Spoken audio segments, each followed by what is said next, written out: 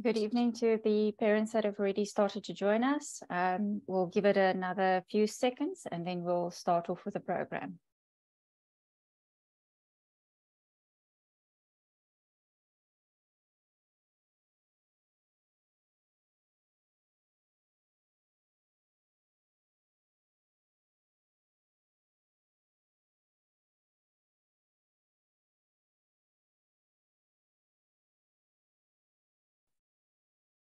We are recording this session. We will be sharing a link on uh, YouTube and Facebook for you to view should you for some reason log out. Um, just to quickly, my name is Anne Louise. I'm your host this evening. Just to give you a couple of house rules for those parents that have started to join us.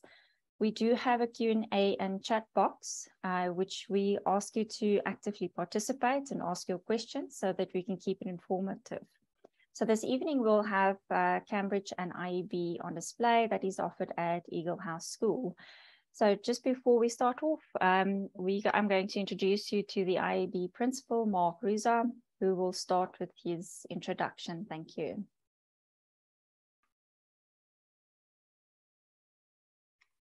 Good evening, parents and learners, and thank you so much for joining us. Thank you, Anne-Louise. Um, welcome to our beautiful school. Uh, I think the video, if you've missed the introduction or the introductory video, uh, the school speaks for itself. So I wonder if uh, I can maybe just share my screen. You should be able to.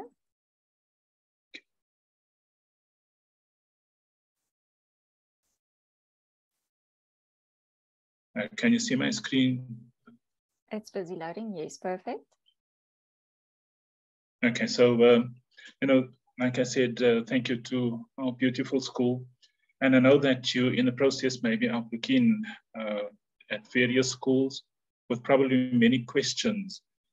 And I think the question is always why Eagle House? So I'll be talking about the IEB section and Melinda will talk about the Cambridge section. Uh, but together we form one unit and we try to offer the best uh, that we can possibly offer. And I think our track record from the IEB section speaks for itself with a 100% pass rate. And we've also been a top independent school since we started, basically. Uh, but it's been noted since we started our matric group, and for the past 13 years, we've been a top performing independent school in our district. And what normally helps this is the small classes that we have and also our versatile teachers you know, it's uh, the, the teachers understand exactly what it is that we are busy with. And uh, our teachers are stable, they're passionate, and they know the children. So I promised not to talk too much or say or be too long, but just shortly about uh, what IB is. We follow the normal CAPS curriculum, uh, which means it's the, the normal curriculum offered by the Department of Education. So it's a normal CAPS but it's it's uh, through the IEB, okay, and it's been monitored by the IEB, and it's underwritten and monitored by Umalusi as well. So we are fully accredited to to offer the IEB, and we offer most of the subjects that they do offer. And I think within the Elma group, we're still babies, and within a couple of years, we will be offering more of the subjects that are currently on offer. So we do offer 12 of the most common subjects that uh, is being offered. And also the learners will probably be covered in all aspects or all spheres that they would like to enter into. Uh, I think where you find yourself now is what decision do you make? Okay, what I can tell you is that our school is not a school that's regarded as a one size fits all you know, our school is, is unique. It's different because we focus on the individual child. Uh, I know you've heard this many times, but I think our track record speaks, and that is what helped us get uh, the results that we have and the relationship that we have with the children, as well as with the department. So every single child is unique. And what we do implement is uh, the high impact teaching strategies. And this is what helps us uh, throughout the teaching. And if there is a school that does not offer high impact teaching, you know, then we should be wary about it because this is basically what drives uh, the education. So every single one of them have specific functions, you know, and combined we look at uh, differentiated teaching, and that is one of the aspects that sets us apart from the rest. You know, we try to use the, the cognitive feedback uh, because not all children learn the same way, but it's important that they know what they are learning and how they learn and that really helps us get through. So one of our specialities is small schools, uh, and, and that is what has set us apart. And when we say uh, many other schools, you know, they compete, but schools can't really compete with us because we offer what they can't. And we're proud of our small school uh, concept. That way we don't lose learners. Uh, and researchers have shown that you know one in every five children may have some kind of challenge. And those are the children that normally fall by the wayside. They are lost. And in a small class there's no way they're going to get lost. And we do make use of all the affordances that we can. You know that's from technology uh, up until concessions we we assist the learners as best as we can with concessions and with all other affordances uh, we're very proud of the fact that you know we have huge interventions for the learners, and I think that has also been part of it. Uh, it's a small group, so one in 15, there's no way they're going to get away uh, without being noticed in a class. I think you're very familiar with this. Uh, if you look at when school started and where we are currently, not much difference, except maybe for the demographics and the class sizes. And that's what we try to stay away from because uh, there are many schools. You know, we try to offer the learners a different learning experience. So we implementing this kind of setup in our teaching environment. So we do follow a hybrid teaching method where learners are at home. We do have online learners, and we don't just have avatars. If you see the screen on the on the side, we want to see the learners in their faces. So if learners are not feeling well, they could stay home and join online. All our lessons are recorded, so if there's anything they can uh, uh, access the, the, the recorded lesson later on. Okay, but this is what we are striving for. Currently, two of our classrooms are kitted out uh, in this way, and all the other classes only have the whiteboards uh, and most of the technology but I think this is the ideal classroom. So two of our classrooms uh, are ready for this, which we use quite extensively. But I don't want to say too much because I think the teachers will be taking us through that. And uh, thank you so much for joining us. And I'll hand over to Mandy. Thank you, Mandy. Good evening, everybody. Good evening, parents. Welcome to our online open day, very unique concept. Um, but I think it's becoming more and more a feature for today. I'm going to be speaking about languages offered through the IEB. As we're all aware, there are many languages that the IEB can examine. However, at Eagle House at the moment, we're offering um, three, English, Afrikaans, and Zulu to you have to um, obviously um, qualify to, to accept or be accepted into those languages. And we're looking at the offerings of French and any other languages like Mandarin, etc. How does language work in a big school like this? It's the same like any other school. However, I think it's easier to pick up on difficulties, should that be the case.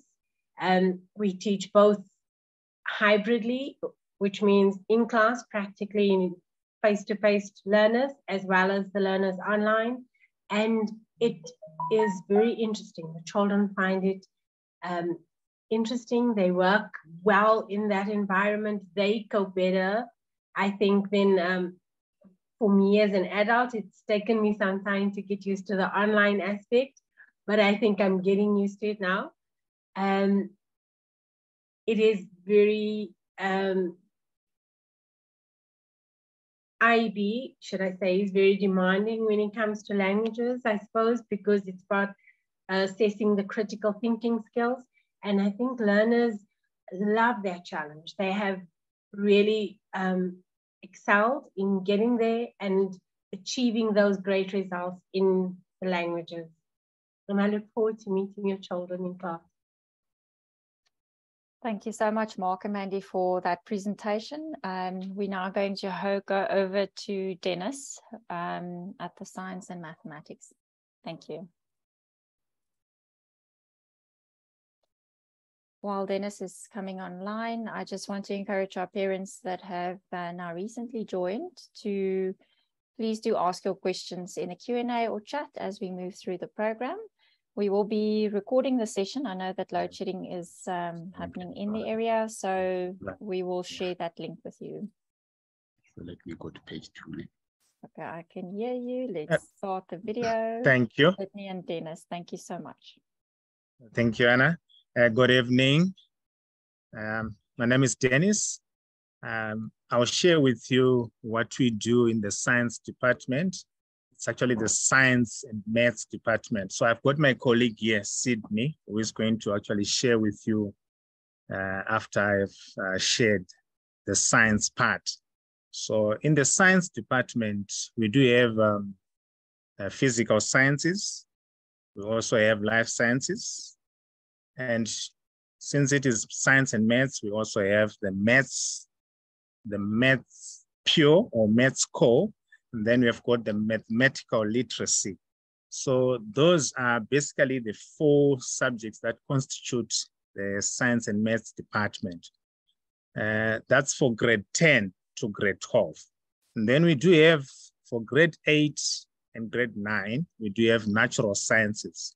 And at, the, at that level, we do have um, mathematics being like a generic mathematics. There's no discretion to say it's going to be maths lit or maths maths core. It's generic, preparing learners for choices at grade 10, where they then choose to do maths core or they go for the mathematical literacy option. Now, in the science department, we, we do have uh, facilities that actually promote the learning of science. Science is basically in the business of explaining observations. And when we explain observations, uh, we're looking at what is around us and how do we come up with explanations to that. So after making observations, we then investigate. In our investigations, that's when we end up maybe having to do some experiments.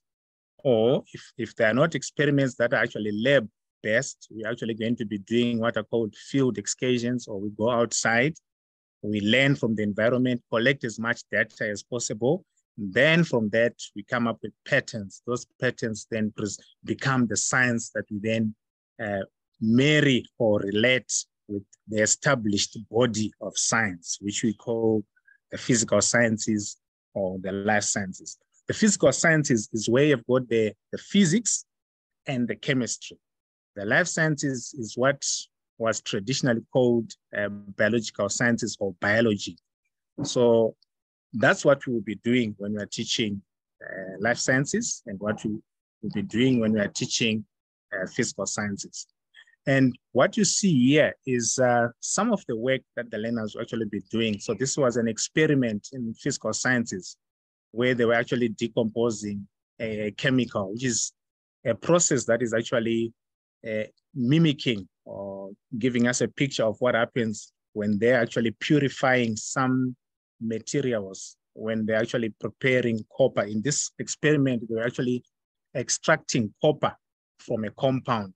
So this is an electrolysis experiment where electricity is used to, to get copper from uh, copper chloride. This is actually related to what happens at large scale in the mining industry when they're actually extracting copper. It's just one of the many activities that we do. Then coming to us embracing the technology, we do have um, uh, devices that we use. Uh, the laboratory is kitted with uh, a, a, screen, a monitor, and we do have a camera that allows us to actually track everything that we'll be doing in the class for sharing with those who may not have made it to be in class on a particular day. So the activities that will be happening in class can then actually be also ex experienced by any child who would have actually been absent due to medical reasons or some other challenges. There, there's a lot. There's a lot. We, we do practicals as part of examinations for life sciences. We do practicals as part of examinations for physical sciences. And we have been meeting the requirements ever since we started uh, as a school. So we are here to serve and provide services. Should you uh, enroll your child with us, and you are welcome. Uh, as I hand over to Sydney to share with you the mathematics part. Thank you very much. Thank you, Mr. Dennis. Uh, let me just move my file just a little bit up. Okay, thank you. So um, I'm going to share with you uh, to just give you a short picture of what happens inside the classroom. I'll reiterate, uh, we celebrate individuality of our learners. Uh, we are not a one size fits all uh, school. So when your kids come to us, they come as individuals. Our job is to make sure that we celebrate that individuality, we make them better individuals. We don't try to standardize our children. So here is a quick example of what happens in class. The sum is one, 18 multiplied by five.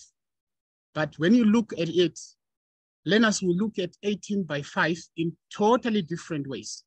So mathematics, a, when you ask people about maths outside of um, the, the education system, they think maths is about using methods and methods are constant. But with us, maths not about using methods or restricting learners to one method. Uh, it's about making connections, it's about reasoning, it's about thinking. That's what we call mathematics. And I'm sitting next to Mr. Dennis because mathematics and science are married. They are intertwined. Deep down, they are one thing. They feed into each other. So the first learner will see 18 is 9 plus 9. So that learner is not multiplying 18 by 5. That learner is multiplying 9 plus 9 by 5. The second learner will see 18 and 5 is 9 and 10. The third learner will see 18 as 10 plus 8 multiplied by 5. So that's what we celebrate, that individuality. That's what we celebrate. There is a common misconception out there that um, kids who are slow in class are slow learners, they are labeled. But um, we are researchers, we are enthusiastic. I can tell you that from research, we have realized that those learners who take time to take in things are the ones who end up as more brilliant, who end up performing better. So when your kids enroll with us, what we do is to make them better and stronger individuals. We also um, focus more on the 21st century uh, skills. Uh, those are skills that are transferable. It means when a child goes out of our school, in the world outside of school, they can continue to use those skills skills like communication. So we present a lot school skills like uh, cooperative learning or collaboration. Our kids do a lot of group work, but our group works are structured. There is always a purpose behind any activity that we do. I am going to try and just run one file. Uh, I hope it's gonna run because it uses a totally different kind of program.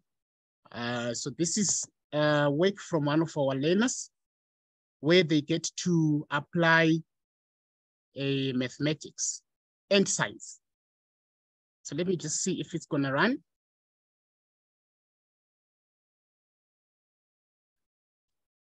So from our side, it is running. I'm not sure if you guys are seeing what we are seeing from our side. Perfectly clear. Oh, thank you. Uh, just be patient. right, so to an untrained eye, this might look as if uh, the learner is drawing and painting, but this was a lesson on Cartesian plane and angles. So to create something like this, the learner has gone through lines and lines of coding. And those lines are actually very complex, complex to a point where if you are a parent and you see your child doing stuff like this, you'll be afraid of your own child. So you may not see, but whatever you saw there started from here, and this child went through all this. You can see there are a lot of coordinates, and those coordinates are not just coordinates, they are all connected. They all led to what you saw, a boat sailing in water. So this is our, our emphasis. 21st century skills, use of technology, and application of skills. Those skills that we give them in class, we want them to use uh, those skills outside of the class.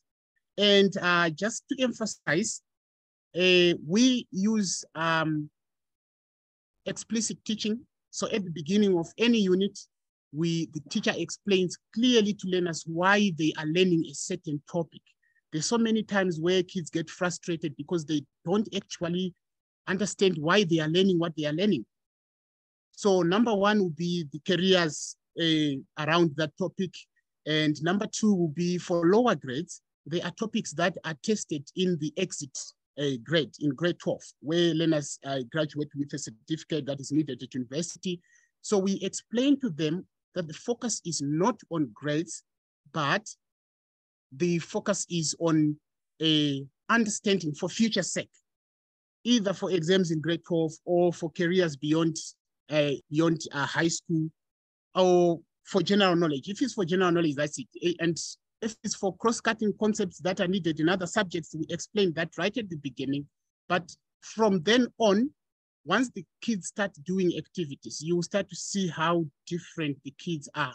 And then the teacher has to make sure that the focus goes to one child and then the next and then the next, instead of focusing on the group as a whole, which is what we are trying to run away from. So yes, our classes are very uh, small for so that we can meet that purpose of um, or that task of differentiating.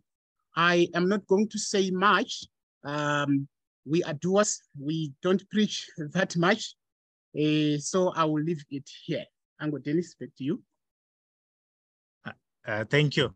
I do not have much. Uh, we are waiting for any questions Perfect. after Perfect. I, I, perfect. Thank, you, Thank you, so much for that. I think it's a nice Thank display you. in terms of technology integration with the mathematics. I just wanted to quickly, uh, parent has asked what is mathematics core and the difference? Just okay. a brief explanation, then we'll Thank move you. on. Thank you. So, so math core is what we what is generally known out there as mathematics. So that is pure mathematics. Then there is mathematical literacy, which is mathematics about real world stuff. So kids who do not do mathematical uh, mathematics, they have to do, it's a must, you either have, either do mathematical literacy or you do pure maths. So mathematical literacy in general, it's real world mathematics.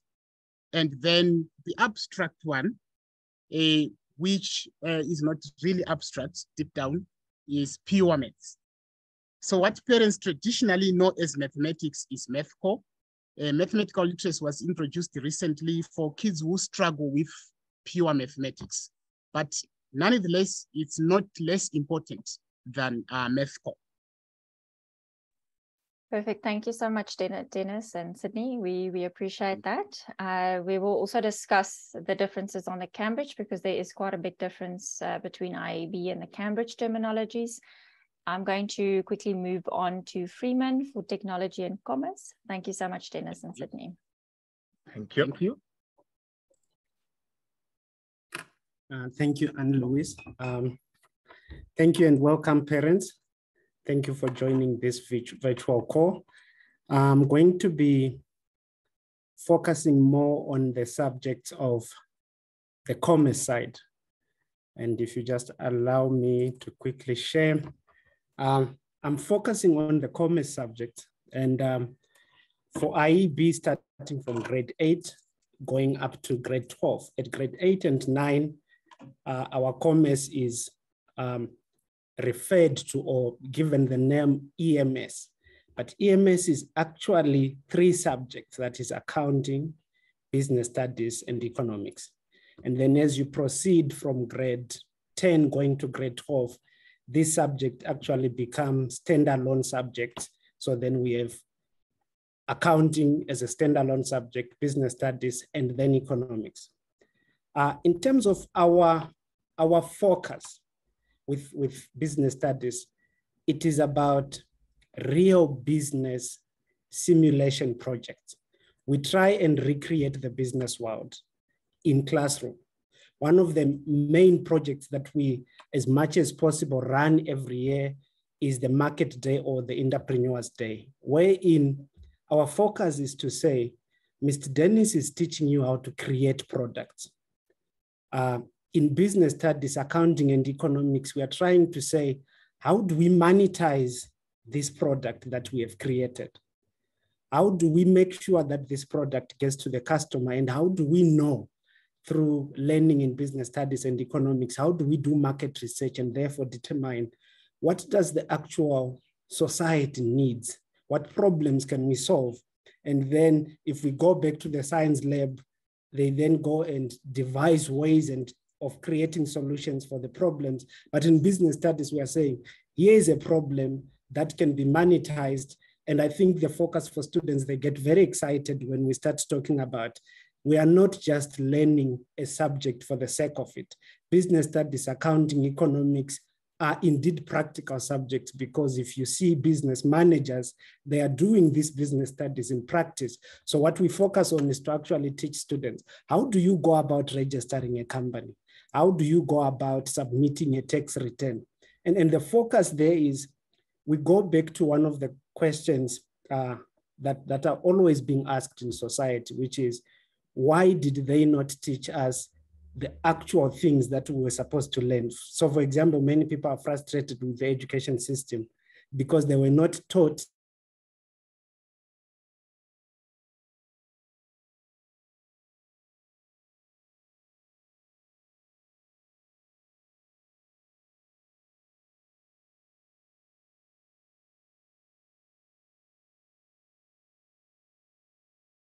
the curriculum, they actually go through and teach students, this is how you go on SARS website. So instead of us focusing on the theoretical bit of you submit text to SARS, if you are employed, you pay pay as you earn. If you are a business, you can register for VAT and you pay corporation tax. We actually simulate and go on SARS website and say, this is where you would go if you want to register.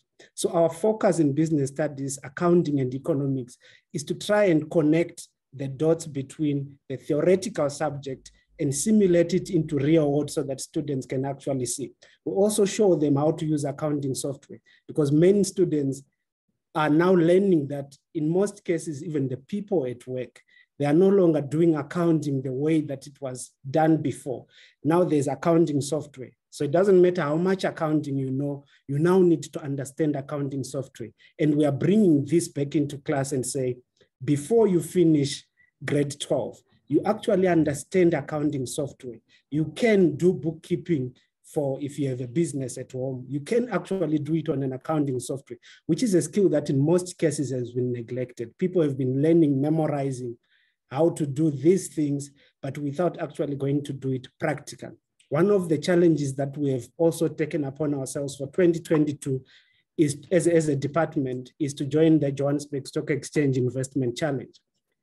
With the Johannesburg Stock Exchange Investment Challenge, what happens is students who are doing the commerce uh, stream of subjects, they participate in a virtual investment, but it's actually real world. The only difference is they are not making real money, but they're actually investing on the stock exchange. They go through the fundamental analysis just like an, an adult stock investor would do. They go through the technical analysis and then decide that we are going to buy an MTN share. And then over the course of the year, we then see how much they're actually going to make from their stock exchange investment. And then they are, they are given virtual coins to use for this investment by the Johannesburg Stock Exchange. What this does to students is it brings this abstract idea of there is an institution called Johannesburg Stock Exchange, the abstract idea of there is investments that happen somewhere, because the problem in class, there's a tendency to think that there is a select few people who are supposed to invest on the stock market. For us, we are just supposed to learn it in the textbook. And we are trying to run away from that and say, this is actually what is happening in the real world. You actually go and you log in, you buy shares, you then sell these shares when you think that the fundamentals are indicating as such.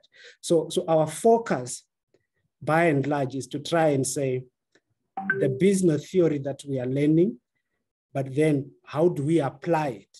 How do we ensure that the products that have been made are get to the customer and how do we ensure that we derive economic value from that I think in short, that's what we do in business studies. Our sincerest hope is to be able to meet your child and try and impact on them in one way or the other. Thank you so much. Back to you, Anne Louise. Perfect. Thank you very much, Freeman, for that. And uh, then we're going to move over to the Cambridge section of uh, Eagle House. Uh, Linda Salier, or principal at the Cambridge side, if you can uh, please introduce yourself and start your introduction.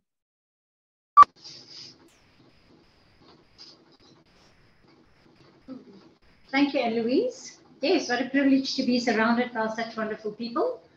And uh, there's another team coming up. So um, yes, welcome everybody. And we hope to see many of you in the future, bringing your kids to this fantastic school.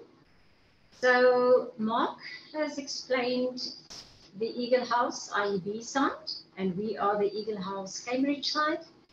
Um, so that's the school we are running here we offer grade 8 and then grade 9 and 10 forms the IGCSE curriculum. And at the end of grade 10, students are writing an international Cambridge exam. Um, our exam center is um, with Alma Mater High School. So we're using exactly the same textbooks, same curriculum, and that's where they write their exams.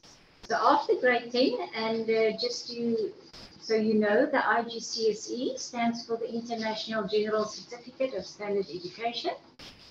And after grade 10, which is often the certificate that students may apply to universities, but Anne-Louise knows more about that than I do, um, to get a conditional approval or acceptance if they are doing AS level the next year, which is our matric. Uh, we offer AS level over one year or two year two years, or you can write, do one year the curriculum and then write the next year in May, June. Um, we do have students that are running that over two years, they're grade 11 and 12, no problem with that. After AS level, they can also carry on doing their A levels. Generally, they would do two or three A level subjects.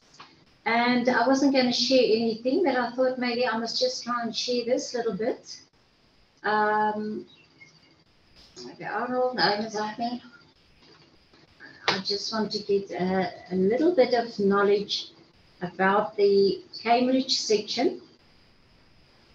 Um, if you look at the left-hand side on the screen there, there are four options. Because we are Cambridge, meaning an international qualification of matric level and higher than matric if you carry on with A levels. These are the options or the combinations that a student needs to receive a matric with exemption certificate from USAF, our Universities of South Africa, who has set this criteria together to comply with our local universities requirements. So when you're going on to AS level, you can use four AS level subjects with A to D symbols, plus your one IGCSE, that is your grade 10 subject, uh, as a fifth subject with A, B, or C symbols, and that combination will give you a matric with exemption certificate. The same with this one, five AS level subjects, passing with A, B, C, D will give you that certificate, and the other two are linked to A level. So if a student carries on with two A level subjects, passing with the A to E plus three, grade 10 or IGCSE at an A, B, or C symbol, they will also obtain a matric with exemption certificate and three A levels with one IGC certificate. Um, okay, so I hope there's no more questions on that one. Then, um, so that is the curriculum we offer. Generally, Cambridge drills down deep into most of their topics. Um, we focus on a lot of skills and definitely application. So that is what make this curriculum very sought after. A lot of companies, a lot of universities worldwide are very pro-Cambridge, especially if our students want to go study overseas, they will probably require A-level subjects with good symbols. Um, yes, we run our curriculum and our subjects according to a structured timetable. All lessons are recorded. There are students online or students come physically to our classes here on this beautiful campus, which I think is not all conducive to learning. The calmness um, and the nature on this campus is really very beautiful. Um, we also have assessment schedule, so a student knows up front for the term uh, which test they will be writing when. And according to that, it just makes life easier for teachers and for students. Our classes are very small, and it varies from one to two students um, in A levels, especially, to maximum between 12 and 17. Generally, English, maths, which are the subjects that all students um, must take. We have a subject choice form, which parents and students complete when they start here. We give them access after the um, admissions process to Teams, and all classes um, are happening on Teams, as I said, being recorded. And Mark has indicated the technology and the facilities that we do have here. So yeah, uh, there's absolutely no excuse for a student to fall behind. Uh, they get their homework on Teams, they can communicate with their teachers on Teams, um, and they can go back and listen to the recorded lessons. So I think I'm just going to stop there for now, and Louise, and then maybe we can continue with our teachers to share some of the subject information with us. Perfect. I think um, if I can pause just for one minute in terms of what devices a student would need for the Cambridge site specifically, and then we'll go back to the IEB. Thank you. Um, okay, generally our students, you know what, technology is so advanced. We had students writing the exams from their phones, but yes, that's not ideal. We would prefer that students will have a, a laptop, especially from an ICT or a computer science view. Um, definitely to be online and to upload homework. Even if they write assessments online, they can just write it, scan it, and upload the assessments it helps us with the record keeping as well. So I think uh, Ma'am Adele from the high school, our RT teacher, will assist us with the specs uh, regarding on laptops, and we will communicate that to all parents. I believe that's normally communicated, and we'll have our admissions officer on right at the end um, on the stationary pack what would be required or what is recommended. Um, I'm going to ask there some lovely questions, but I will ask them towards the end at the general Q&A unless they are subject related. So please do keep um, asking those lovely questions as we run through the program. Next up, we've got Arnold.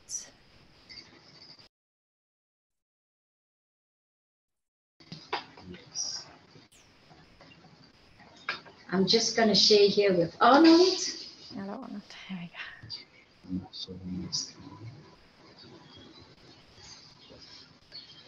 Good evening, colleagues and parents. Welcome to Alma Mater Cambridge.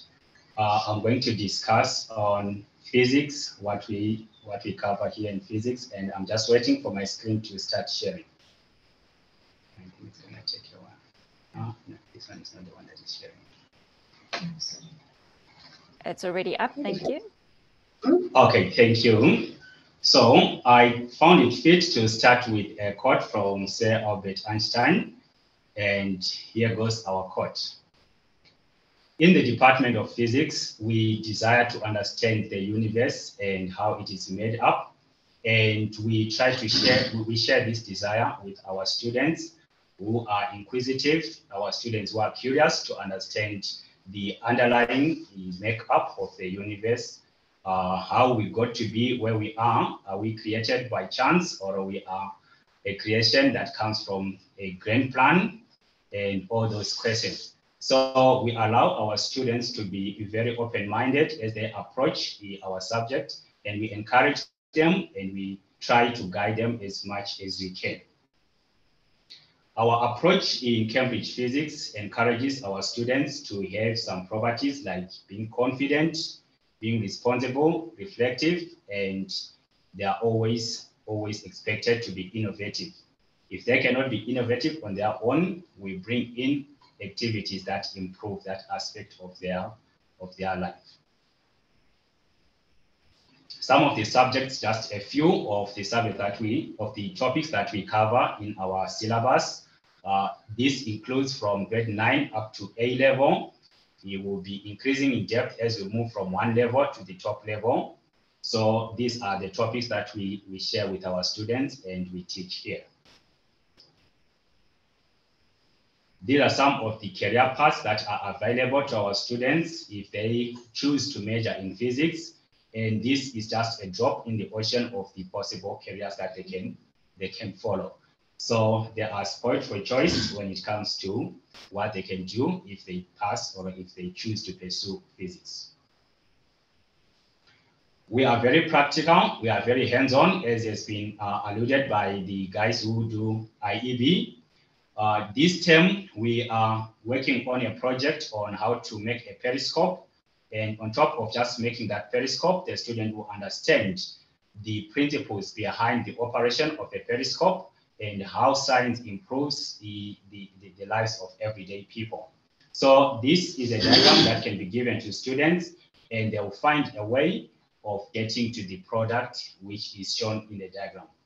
Uh, on the other side of my slide, I have a real life example of where a periscope may be, may be used. And just in case that's a submarine that is trying to peep whilst the rest of the body is in water. So this is a very, very helpful project and the students can actually see how technology or how science can transfer into, into technology in the real world. So to wrap this up, I'm going to just share a one of the experiments which we conduct here. It's one of many, many experiments that we conduct. And this is investigation of Kirchhoff first law. And I'm sorry, I'm going to take you through a little bit of numbers here. So what Kirchhoff's law says is when current enters a junction, which has been labeled B here, when current enters a junction, which has been labeled B here, all that current must be found to exit that junction. So if 10 amps enters the junction, 10 amps should leave that junction. And we are going to demonstrate that experiment using just a few of the equipment that we have in our very well equipped eh, laboratory. So I'm going to ask Mem Linda to switch the screen so that we can go to the setup of the experiment.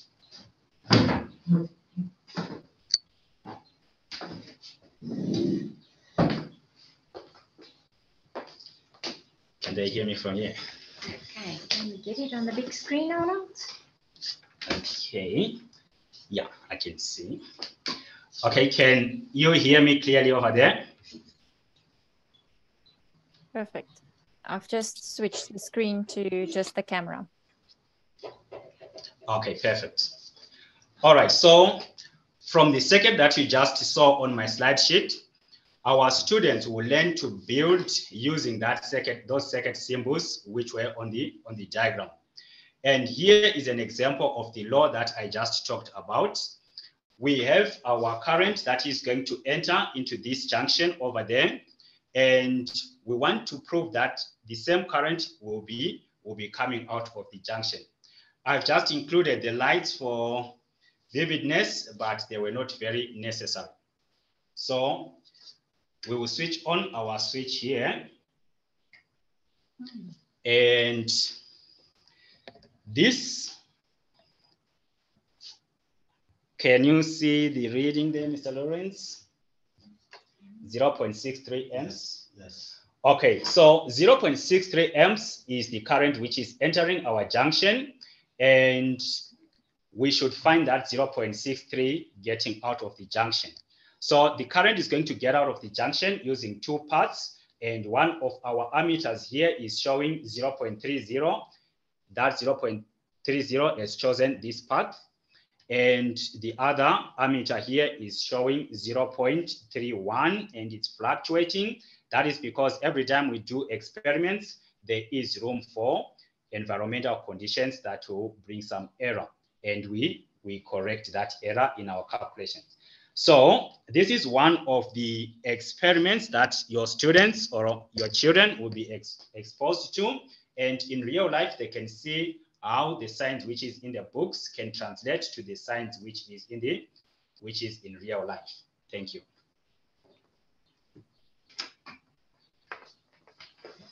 Perfect. Thank you very much um, for that demonstration and the introduction there. And then we're going to go over to Danielle. Hi. Um, thanks, Arnold. That was really cool to watch. Um, hi, I'm Danielle. I am the biology teacher on the Cambridge side. I teach biology to grade nines 10s, AS and A level kids, and I teach coordinated science to the grade eights. So coordinated science is the equivalent of natural science over on the IEB side. It's just a combination of chemistry, physics, and biology. Um, but I think biology is where my true passion lies. Um, I think a lot of the, the teachers have spoken about what we as a school can offer, um, which is great. I think we have great facilities and, and we have great engagement with the children.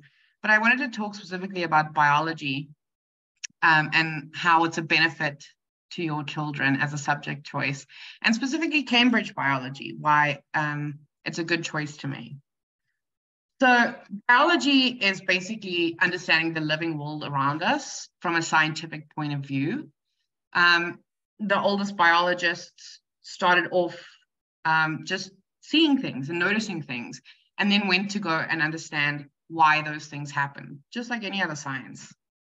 Um, particularly with the Cambridge biology curriculum, a huge variety of topics are covered. So anywhere from ecology to plant science, human sciences, genetics, they're all covered in the Cambridge curriculum. It is a truly in-depth um, curriculum that really gets to the heart of every topic. Um, and I think it really opens up the students to figure out what it is that they enjoy.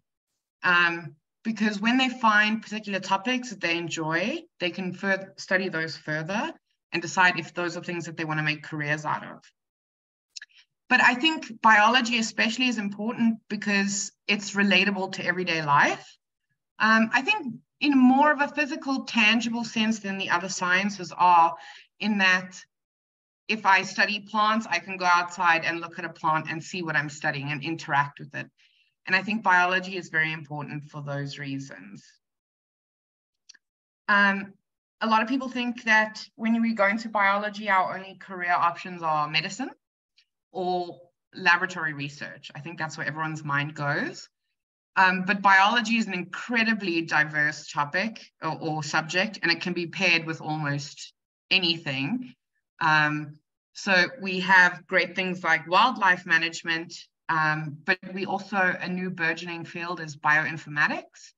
So it's a great pair between biology and computer sciences. So all your um, kids who are wanting to learn IT and coding and things along those lines, those are very well paired with biology, um, especially seeing how biology is moving forward in this age of technology. Um, for those more on the artistic side, um, scientific illustration and scientific writing are big career fields, um, and they're often overlooked. Cambridge biology in particular is, um, I think, a very good choice because there's a full and in-depth coverage of not only fundamental biological concepts, but the way that these are applied um, currently in current science um, and their curriculum is constantly being updated. So when there are new um, breakthroughs in certain topics, those are covered in the curriculum. But the curriculums, because they're international, um, they're international certificates, they're also um, specified to South Africa. So a lot of our biological concepts that we cover deal with um, for example, ecology within a South African context. So if we're discussing wildlife management, we're discussing how um, the effect of rhinos going extinct might affect the South African economy. And I think um, that's also very important.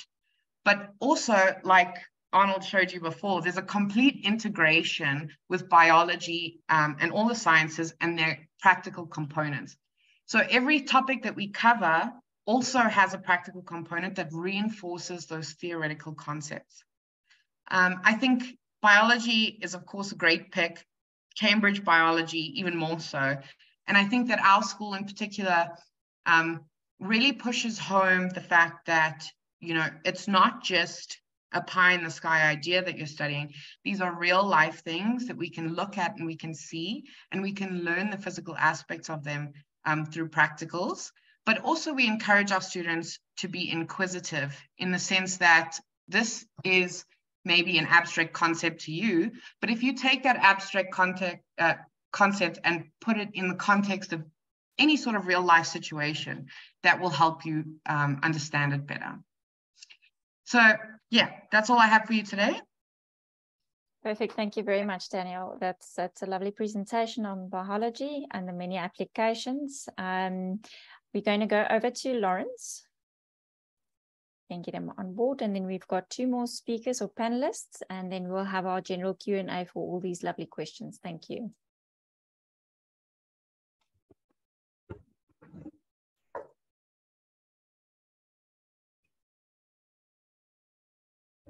Good evening. Good evening, uh, parents and teachers.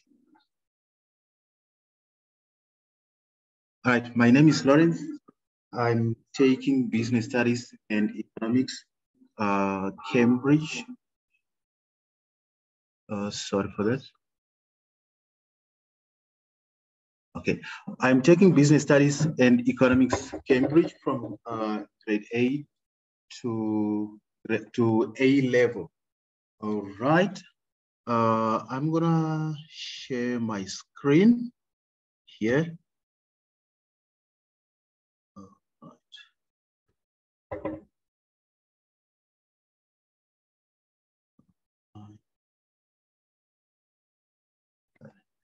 We can right, see screen. there it is. That's business studies. You can see that those are serious people.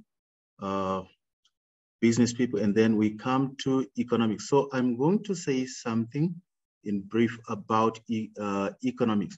So we, we, we cannot talk of uh, uh, politics or we cannot divorce politics from economics, right? Whenever we talk about uh, politics, let's say even the invasion of uh, Ukraine, the war in Ukraine, we are basically talking about economics, seeing how it has affected uh, the world in terms of the, the, the prizes. All right. So uh, if we are uh, going to the polls, voting ANC, EFF, DA, we are also deciding our economic uh, fate. Right. So economics uh, in Cambridge, this is the outline of the syllabus. Uh, it covers a range of basic economic ideas, including the introduction of the price system. Right. What do you mean by the price system? Right. Each and every time we see prices going up, is it because Pick n Pay or ShopRite, they've just uh, decided to say, okay, tomorrow we want bread to be at 24 rand. What happens is the ecosystem of many variables, right? We also, uh, on the macroeconomic level, we speak of international trade, uh, the exchange rate, I call it uh, the dollar price of a rand right? And then also the measurement of employment, inflation, and the causes and consequences of inflation. So learners also study the price system, the theory of the firm, market failure, macroeconomic theory and policy, economic growth, as well as development. So I'm, I'm, I'm gonna, um, okay, economics is divided into two. There is what we call microeconomics and macroeconomics. Right, microeconomics is the study of individual markets, right? Like now it's hot. We study the market for ice cream and the market for coffee or tea. Obviously, the demand for tea cannot rise at this moment in time, all right, because it's hot. Then we move on to macroeconomics. It is the study of the entire economy as a whole. Examples include uh, studying the total size of the economy or the unemployment rate, among other things. Right, we're gonna look at um, what we call macroeconomic problems. Right, we have uh, aspects like economic growth, unemployment. In South Africa, we have a very high level of unemployment. All right. And then we also have inflation. We see prices going up. I'm going to briefly explain uh, the mechanism of inflation. We also have the balance of payments as well as the exchange rates. All right, so I'm going to briefly uh, speak about inflation. You can see what's happening there. All right, the definition of inflation is a sustained increase in the economic's uh, general price level. You see what's happening there, um, housing, car insurance, and all those things, right? They are heavier than uh, our rand or dollar in this uh, context. All right, and then you see what's happening there. That a big red is uh, uh, just uh, consuming your real income while you're watching. There is nothing you can do. Right, those chaps are just looking. All right, so now I'm going to look uh, to briefly look at the causes of inflation. Is it that people just wake up or the government say, okay, our inflation rate is 8%. What happens, right? So we have two causes of inflation. The first one is called cost push inflation, right? Rising oil prices, uh, rising nominal wages. When we see these trade unions demonstrating, right, for uh, the increment in wages, what are they doing? They are also contributing towards um, uh, inflation, right? We also have higher direct taxes, that is value added tax, rising food um, and energy prices, and also devaluation of our rand. So if our rand goes low in value, what happens? Right, our companies that are importing raw materials are going to find it costly to import those raw materials. And uh, the eventuality of that is that they are going to transfer uh, those costs to uh, the uh, prices of their final products. Then we end up having cost push inflation. Right, then the last cause, we call it demand pull inflation. Right, you can see what's happening there. Um, demand pull inflation, is it because um, uh, there's uh, too much money in the economy? That is the money uh, supply expansion, right? So basically here, when talk of uh, demand pull inflation, it's whereby people are buying too much, right? So by buying too much, they are putting an upward pressure on the prices. So is it because of uh, the increase in money supply? Or is it because of consumer expectations? Right. If consumers are confident, if they are confident, they won't be saving, right? They will be buying a lot, and that puts an upward pressure on the prices, right? Is it because of fiscal or government stimulus, whereby uh, the government injects a lot of money into the economy? That puts an upward pressure on the prices, right? Is it because of the growing economy, right? If the economy is growing, a lot of people get employed, they get money, and they buy too much. They go on holidays. That puts an upward pressure on the prices, right? Is it because of uh, what you call credit boom? Let's say the interest rate has gone down. People find it cheaper to go to FNB, to go to Nedbank, to borrow money, to spend. That's a credit boom. All right, so um, whether it be uh, the uh, cost push inflation or demand pull inflation, it needs to be corrected, right? It's a, a macroeconomic problem. It needs to be corrected. Before I jump over to correction, uh, how do we solve uh, the problem of inflation, right? This presentation would be wouldn't be enough if we do not do a little bit of a graphical presentation. Those who hate economics because of these graphs. Those who love economics is also because of these graphs. All right. So what's happening there is uh, the interaction of supply and demand. I always ask my learners to say, okay, consumers want lower prices and then suppliers want higher prices. So who wins eventually? There's no one who's gonna win. It's an agreement. That agreement, we call it equilibrium in economics. Right. So like here, uh, this is our first equilibrium where supply and demand meet. So if it happens that there is too much demand in the economy due to the reasons that we've already given, that puts an upward pressure on the prices and our inflation um, rate jumps from P1 to P2. That is a higher price level. All right, so we can also, uh, we can clearly see that this is a problem. Inflation is a problem. So now, how do we deal with that?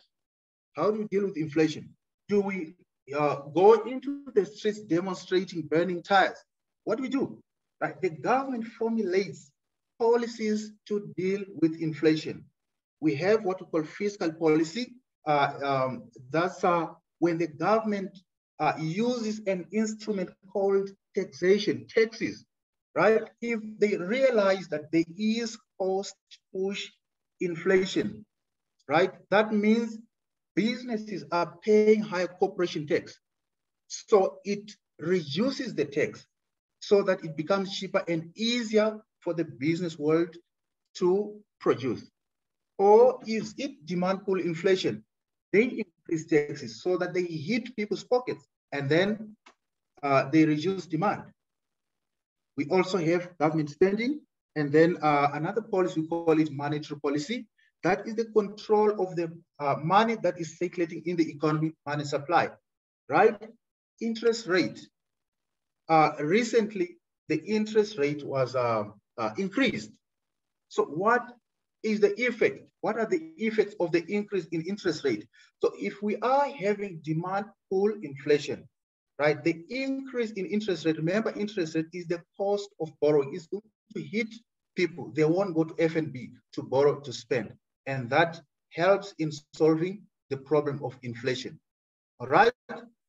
And uh, finally, we also have what goes supply side policies, whereby uh, the government boosts uh, productive potential of the economy, right?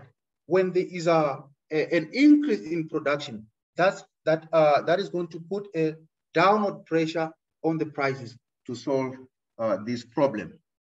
All right, so that's all from my side. Perfect, Lawrence. Thank you so much. Um, I'm just being a little sensitive towards our family's times. Thank you for your presentation. We're going to quickly move on to Tambi. I know um, there was some technical issues.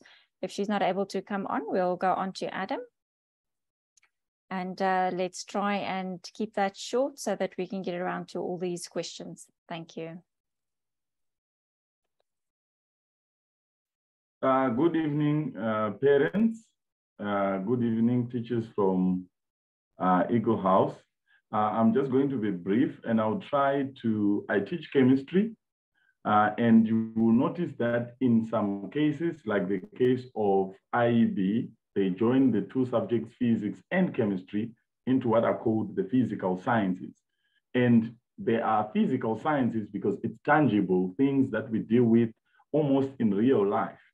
And uh, something that we have actually uh, developed is that uh, in our lessons, and this is especially in the chemistry and the physics, because it's a physical uh, science, there is homeworks that we give to say, uh, we are talking about pollution and we are trying to get the students to be up on board and to understand how it impacts their daily life.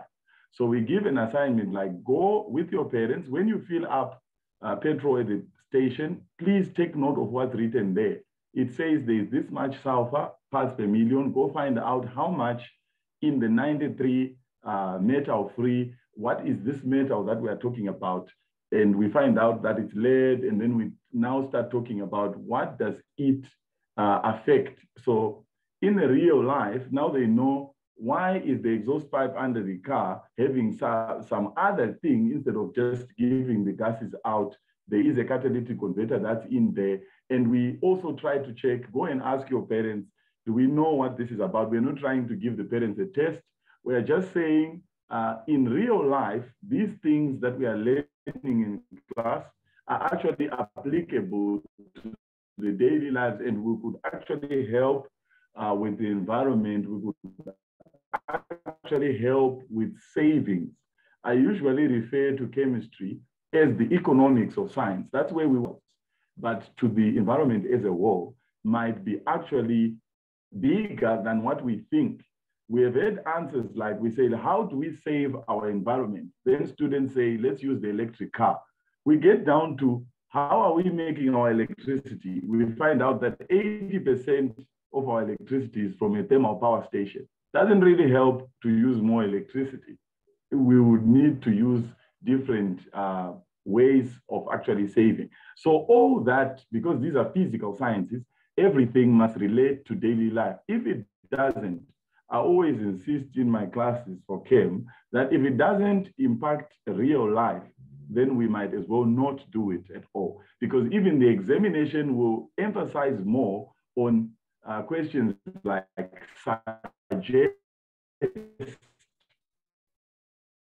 how you would reduce, for example, pollution. And that would mean you have to think about real life and revert back to all this to real life to then be able to formulate an answer that's a suggestion. So it's not just about memorizing and remembering, but it's also about actually being able to get a wholesome student that will come out uh, with a, a pass in terms of the curriculum, but also more knowledgeable as they get into industry. You realize that chemistry uh, will, besides going, uh, giving us the doctors and pharmacists, which are in the medical sciences, it's quite, uh, it's the required subject, uh, the one that's compulsory if you want to do medical or related sciences. But it's also important in industry in general because eh, some parts, so every topic, we usually refer to every topic brings out an a, a, person in industry who is doing a certain job. So when we are doing metals and extraction, we look at the blast furnace, that's a certain industry. If we are looking, let's say for organic chem, we are looking at extraction of petroleum, that's again a certain job in industry. So for every topic in the physical sciences, we will find that there is someone who is actually doing a certain specific job. So, and not everyone has to become uh, all of them, but a person will become only one. But their basics must be in the right place, uh, especially at the IGCSE level. Uh, it's the basics that are tested. But then once we get to AS and A level, which is advanced, then there is a streamlining of certain specific uh, topics uh, becoming more and more advanced so that uh, it, it's only those that would need to pursue uh, a certain level of uh, chemistry who would need to proceed. Uh, but generally, we try by all means to prepare our students at the IGCSE level to be ready to do anything. And then when they do advanced, then they have to actually choose. And chemistry is not that subject uh, that anyone would actually do uh, if they are not uh, going to choose a subject that applies it. So it would be, it's more on the optional side. It's more uh, on the application side, uh, which is something that I always say then to my students, if you come to chemistry and someone sent you, you are in the wrong place because you need to be able to learn it for yourself. And we assist uh, with that. Uh, I could speak uh, for the whole day about chem, but our time is a bit on the tight side. Thank, Thank you, you very much. Thank you, Adam. I really appreciate that. Thank you so much. Um, I'm not sure if Tambi is able to come online. Otherwise, we'll move on to the general Q&A and there's quite a number of questions.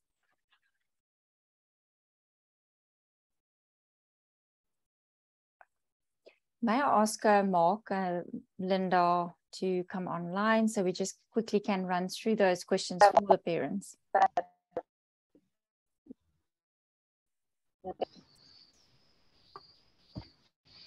Perfect. Thank you so much. Um, there was quite a number of questions. I think it was quite a lovely um, audience that we had this evening. Um, there was questions regarding, uh, I think, logistics. So the stationery lists and the textbook lists when that will be published.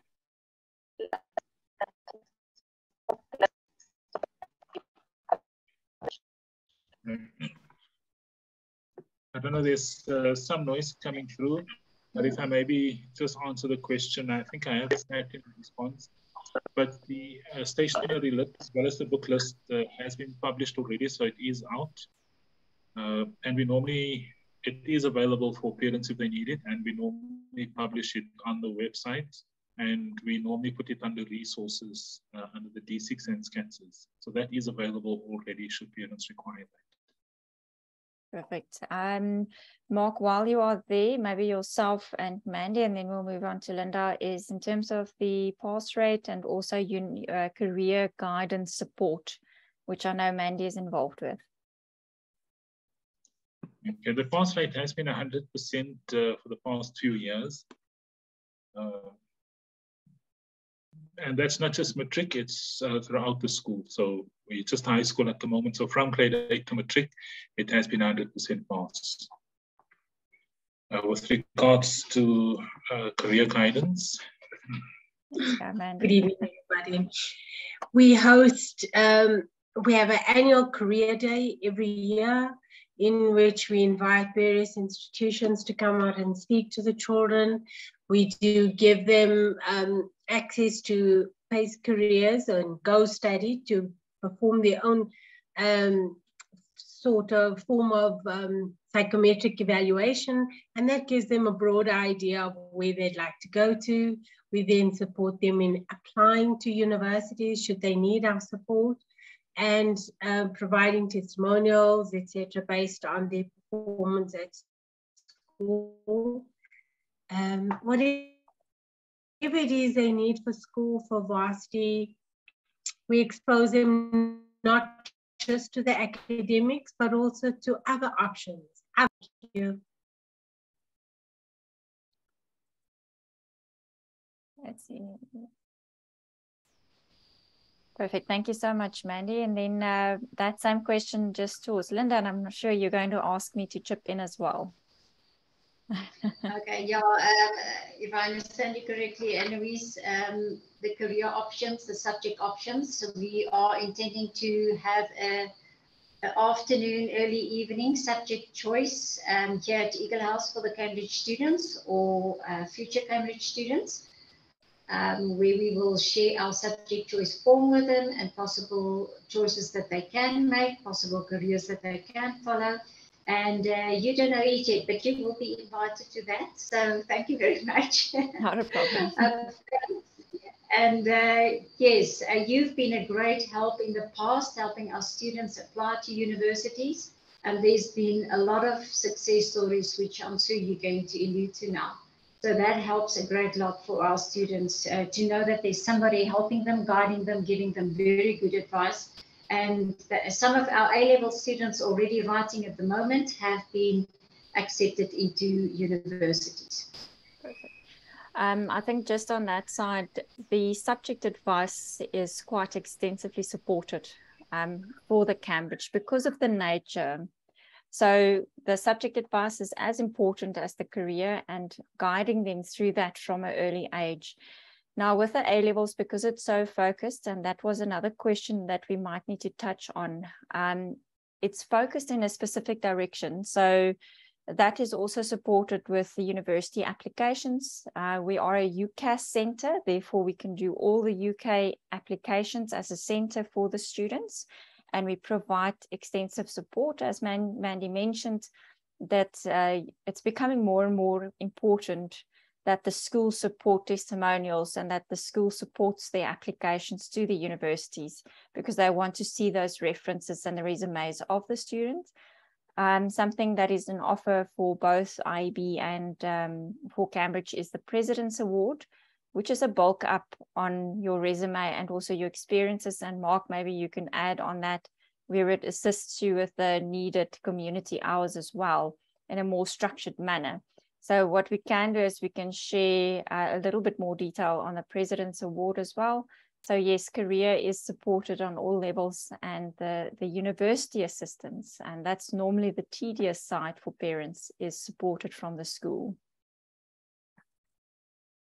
So if I, we can move on, Linda, uh, a parent has asked a question, what the difference would be between AS and A level. You're mute. Apology for that. Uh, AS level, as we said earlier, can be done over two years, which is basically your grade 11, grade 12 or matric, but then you can carry on to A levels. If you do AS um, with those combinations I've explained earlier to get your matric with exemption, um, our national universities are geared to accept those students. If you do A level, it's actually a little step further, but A level are mostly required by international universities.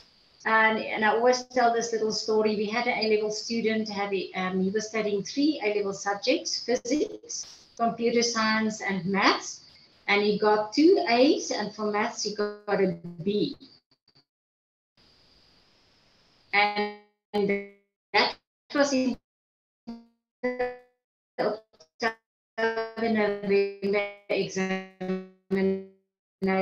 By the way, Cambridge has two sittings, May, June, and then October, November. And that four of his maths, the London universities was actually giving for him, and that's exactly where he is now studying.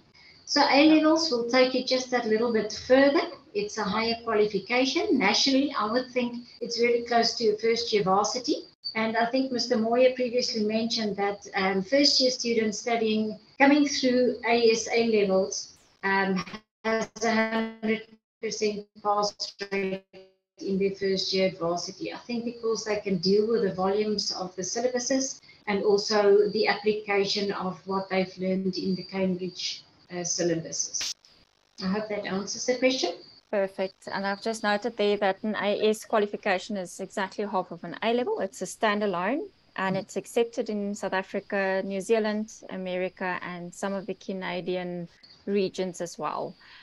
Um, then just to quickly go over to what support structure is in place to support learners to excel in their studies. And there was a couple of questions with parental involvement and how we structure that. Um, Mark, I know that you've answered some of that, but if you can elaborate that online.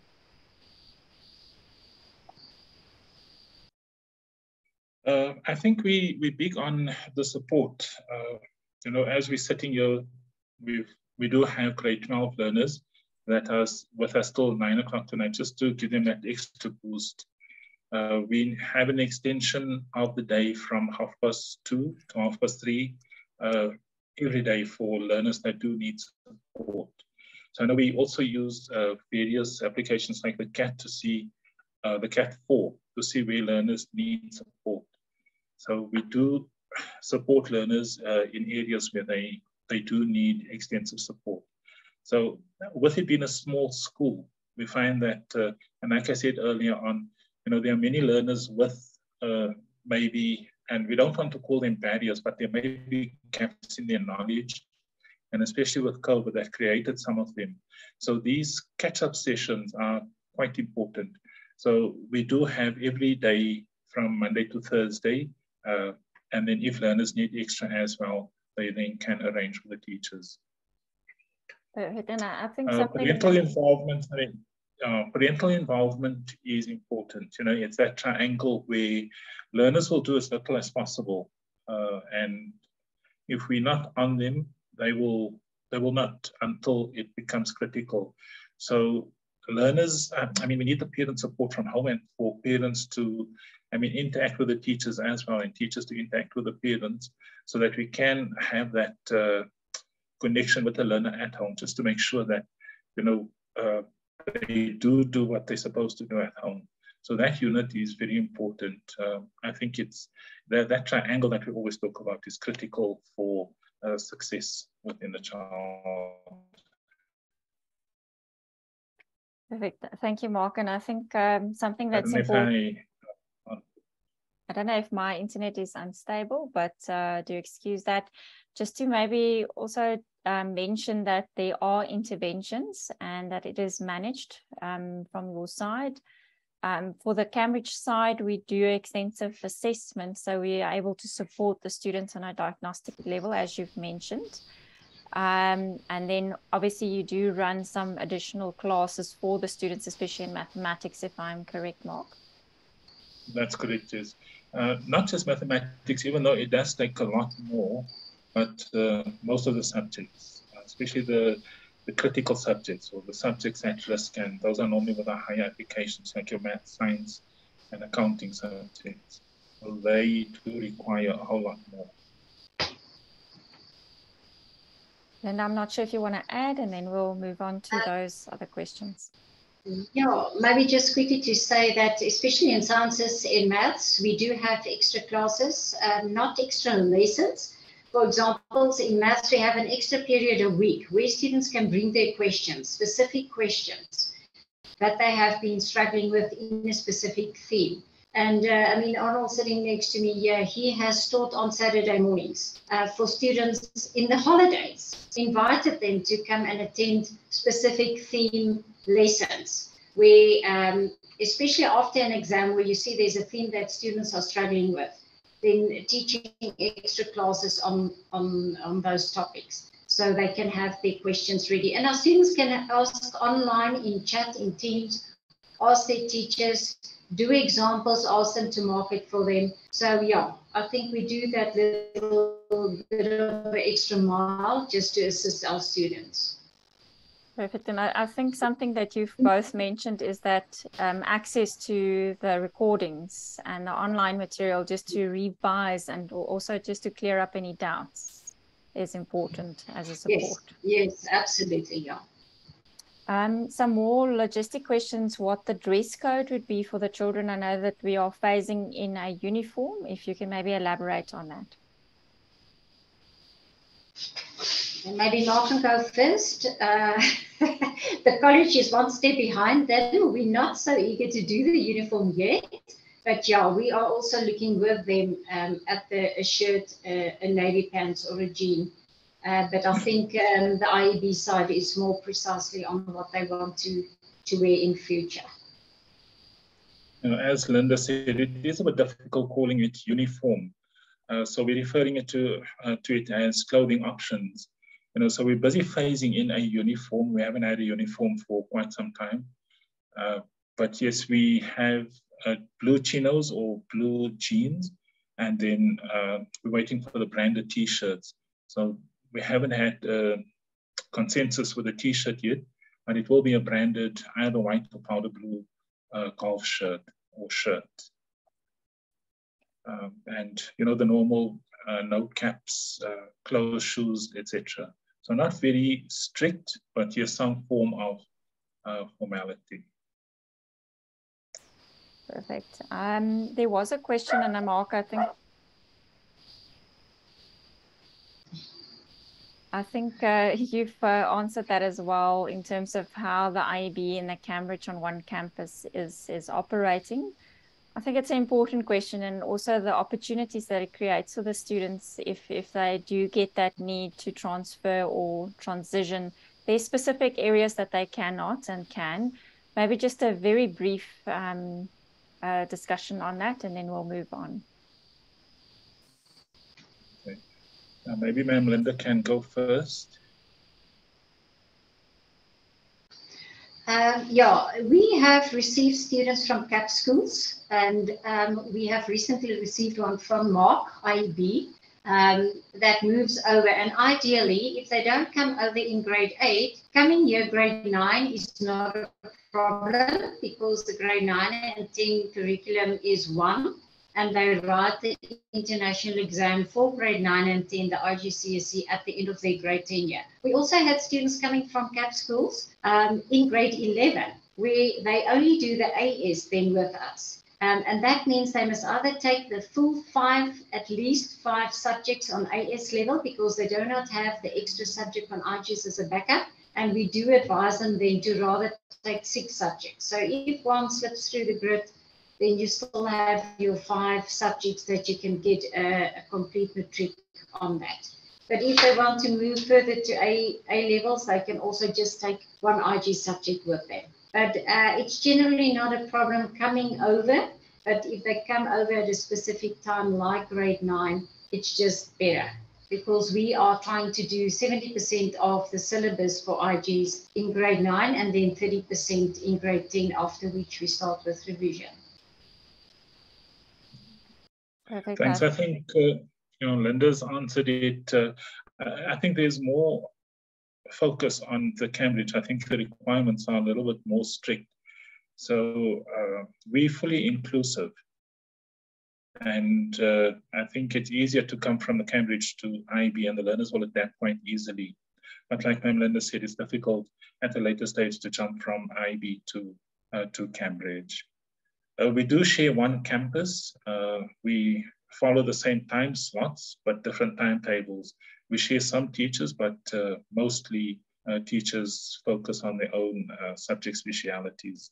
So it is one campus, but you know, it is run differently, if I could answer that way. Perfect, thank you. Um, then another practical question, how many students we have on campus? And I think it's good to mention the amount of students that are in a class again. I know that you have made mention of that. Okay, the classes are, we try to keep it uh, physically less than 15. And we do have some learners that are online, uh, our classrooms are small by design and it's for that reason because we don't want it to bulge much. So classrooms will not exceed 16 at the most. Uh, and then some learners would be at home as well. So it is small classes. Uh, if we do need to start another grade, we'd rather start another grade in, instead of going to 20 or 22 learners. So currently we have two grade eight classes and two grade nines. Uh, there are 10 in each group. I mean, one grade 10, one grade 11, and one grade 12. That's in the IB section. Okay, from, from sorry. I was going to just say, I'm sure it's more on your side, but you can take over, ma'am. Thank you, Mark. Um, yeah, on our, our side, it's quite small. It varies from one to two A-level students in a class and uh, to maximum between 12 and 17, as I said, for subjects like maths, English, that everybody in that level must take. We have only one level, so we don't have two grade eight classes. We have really small classes. At the moment, the maximum is about nine. Um, in a class like grade nine, uh, or grade 10. And also depending on the subject you're taking, not everybody takes chemistry. Some have subject choices. Our senior students prefer to be online, so they do come to campus once in a while, but not even every day. So that's why we are very focused on the online section, and as some of our students remain online. But the juniors, 8, 9, and 10, they generally prefer to come to campus. Uh, it's more of a socializing than something else. So yeah, we love to have them here. And um, school, I believe that interaction with the teachers. Thank you. If I can also just important. add on to that with IEB, uh, from grade 10 to grade 12, where there are subject choices, we also have maybe three or four learners in a class in a subject. It's just for the common subjects, um, English, Afrikaans, and life orientation, where the classes would be the full group. Thanks, Anne Louise.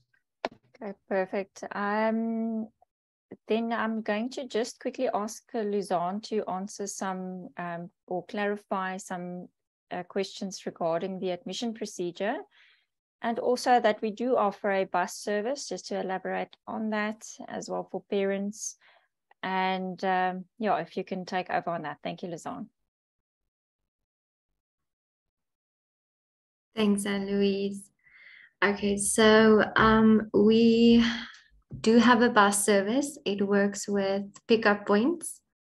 Um, so they go to a certain point and pick up all the students and drop them off there. Um, we you, you would normally fill in a bus request form and we would give it to our bus coordinator. She will then look where is the nearest pickup point and communicate that with the parent but there is a bus for IEB and Cambridge. Um, and then how the application process works. It is um, basically what you would need is to go to the website, click on the applications button, and you need to fill in the application form. What I would need from you is uh, the latest school report you have, a character reference from the current school, parent consent to release student information, application fee is 750, that's just an admin fee. That is for IEB and Cambridge. The only difference between the two is for Cambridge, we do an entrance assessment. So for both curriculums, there is a minimum admissions requirement. But for Cambridge, it is a little bit higher uh, that you need to meet. So therefore, we do the entrance assessment. We use it as a placement tool just to see if the student will be able to access the curriculum. But let's say you apply for Cambridge and we see the student would fit, be a better fit for IEB, we would then suggest the IEB. I hope that answers the question. Perfect. Thank you so much. And I think it is good to put a face to the communication that will follow. Thank you, Luzanne. If we can quickly go back to Mark and Linda, um, there has been a couple of questions in terms of um, the registration of the school and other provinces to have a, the school. But that's that's um, I'm not sure, but we we are a fully registered school. Um, you can elaborate on that. Uh, maybe just a quick one from our side. Yes, we are actually part of Alma Mater, the group school. So uh, we form part of the registered Alma Mater, and that's where our students are writing their international examinations. Um, yeah, and we hope to become registered here on Eagle House in the near future, which will be very nice to have our own exams uh, run here. Um, yeah, I think other than that, I was thinking of something else just now, but now I can't uh, remember. If I do remember, I will tell you. Mark, I don't know. from our side, thanks. From our side, we are fully accredited, uh, registered with the GDE. We have a GDE number, which is known as a EMIS number. We fully registered with IEB, and we also accredited by Umalusi. So we have full accreditation uh, you know, from the three main boards. I don't think that answers the question adequately. Perfect. I, I do believe so. Um, then just to uh, quickly ask that question, I know that we've answered that on the Q&A, the school times, but I think it is important for the other parents also to hear what the school times are. Um, yeah, we, we start at quarter to eight till quarter past two. Um, eight periods a day of 45 minutes. And we do have, at the moment, we do have French in the afternoon, and uh, two of our practicals are also scheduled in the afternoon, starting at 14.30. You know, our times are the same except for the subjects. We also have a, uh, well, not compulsory, but at the end of the day, there is an hour uh, if learners do need uh, support, they can make an appointment, see the teachers, uh, very much like we explained earlier on. But the times are the same. I did put 7.30 in uh, the Q&A. We have a uh, line at 7.30, a short assembly, and then classes start at quarter to eight.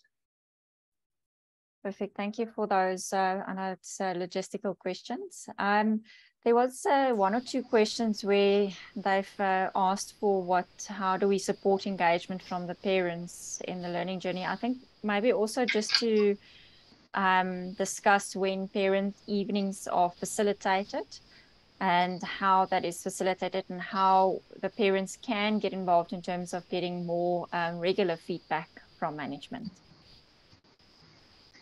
Um, if I can go first. Um, yes, uh, we love it when parents are involved, and I really have an open door policy. Uh, we invite parents to meet with our teachers at the parents' meetings, and we, as we are running three terms, at the end of every term, we do write an internal examination.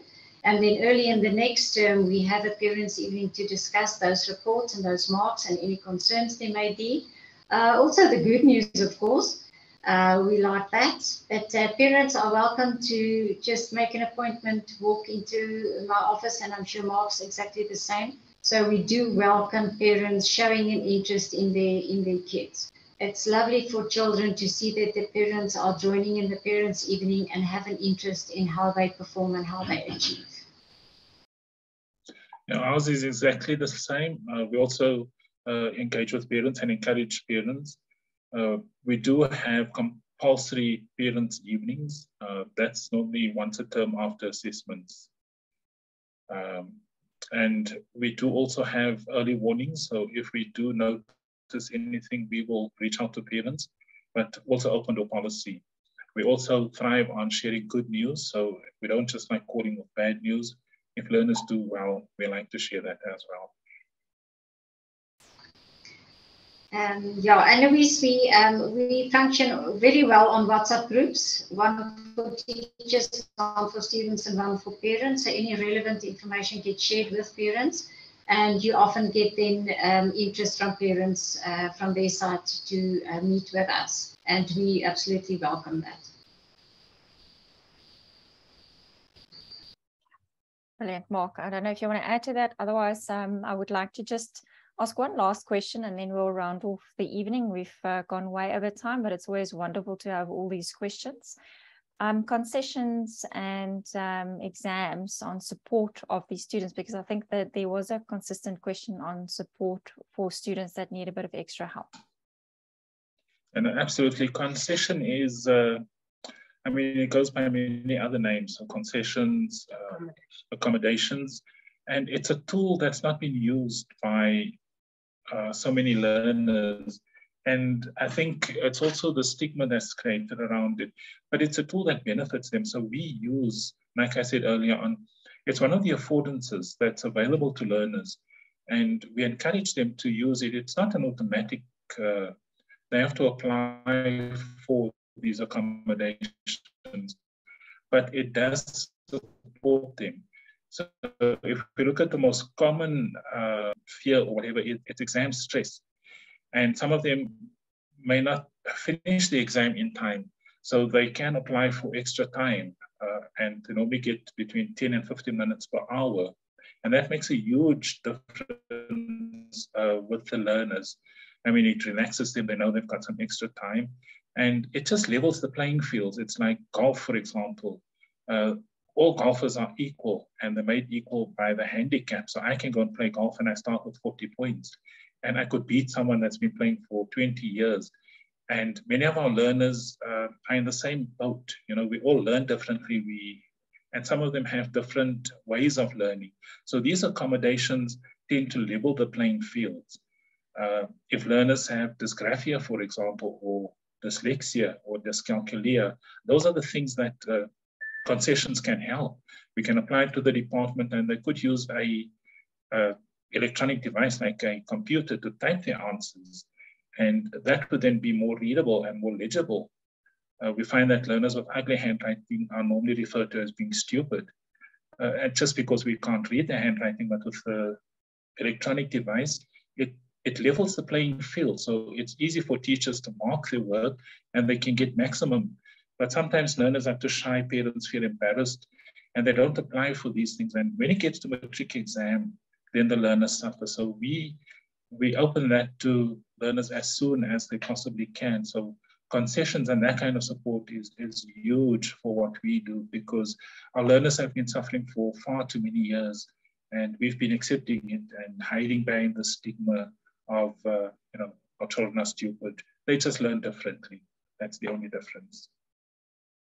Um, I don't know if Mandy wants to add anything mm. or if there's any, if that answers the question. I think it answers it clearly. And then uh, obviously those intervention assistance that is provided to the student. Linda, I don't know if you want to add, I know Cambridge um, basically calls it access arrangements, which is a little bit different to the other Yeah, and uh, it's just, yeah, it's just uh, going that formal route, getting that um, I don't know what they call it, a certificate or an acknowledgement that they have that. And then Cambridge do allow extra time for that. We also do it from time to time in internal exams if we see that a student, a student battles a little bit or is very anxious. we would allow that, but Cambridge would uh, require that formal route if they want to write in the international exam. Perfect, thank you. I think um, I'm not going to keep our parents any longer. We've we've been on here for quite some time. I really do hope that our parents have enjoyed it. We will be sharing a, a link. I know that some of the parents have been dropping on and off. So if you want to review that on YouTube, and it will be also emailed automatically to you after the session. Um, I'm going to ask Linda and Mark just to end off the session, and then um, we can all enjoy our evening.